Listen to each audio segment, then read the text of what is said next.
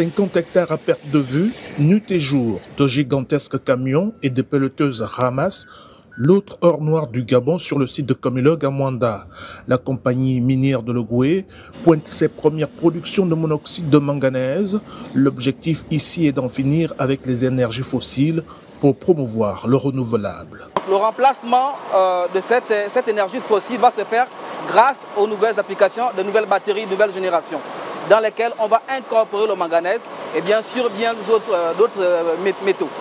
La préservation de l'environnement et la maîtrise énergétique étant au cœur des processus de production, Comilog ambitionne de devenir l'une des premières sociétés minières d'Afrique certifiées en système de management intégré. Aujourd'hui, on a développé des politiques de biodiversité très impactantes par euh, de la, des actions de révégétalisation, de réhabilitation des plateaux, de telle sorte que quand on extrait le manganèse du sous-sol, on ne laisse pas ces trous béants, mais par contre, on, reprofile le paysage pour redonner un peu la, la modélisation du paysage tel qu'il était au départ. En rappel, depuis juin 2014, le Gabon a lancé sa première usine de transformation locale de manganèse.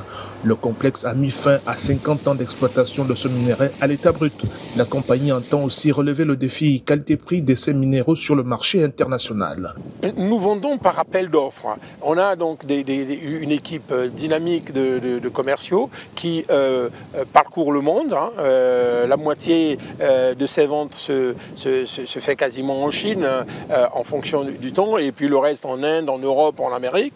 Et euh, lorsqu'un client a besoin de manganèse, on offre, euh, contrairement aux autres métaux comme le nickel qui sont cotés au LME dans une bourse. Avec 25% de réserve mondiale de manganèse, Mwanda constitue l'un des plus grands gisements de minerais haute teneur au monde.